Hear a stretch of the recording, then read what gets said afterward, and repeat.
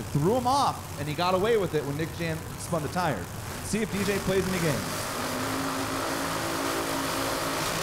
Oh, they're in.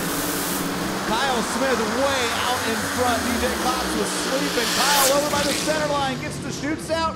Kyle Smith gonna get the win in the JEGS All Stars. 550 with a seven. 258 miles per hour. Kyle was 054 and left first, and I don't know what DJ Cox saw, but it wasn't the Ambers when he was supposed to. Kyle Smith was the winner in top alcohol funny car, and you had the better reaction time as well as the better performing car. Is this a career defining win for you? I don't know about career defining. It's a, it's a little bit of redemption. We were here last year.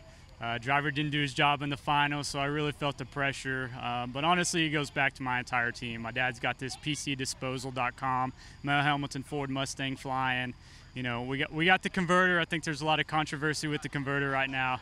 We got the uh, the quick drive unit in it. The Graves family does great. B and J transmissions. Oh man, there's just tons of people back home. I'd like to thank the Nitcher family, my mom, my dad, um, Tosh, Chris Bieber, Steve Rucker, Kyle Lane, uh, Brett Lobel, Josh Coiner, uh, Todd Teeter, man, Kyle. Uh, the list goes on and on. I could go on forever, but man, this is amazing. We're gonna hope to uh, double up. Congratulations, Kyle.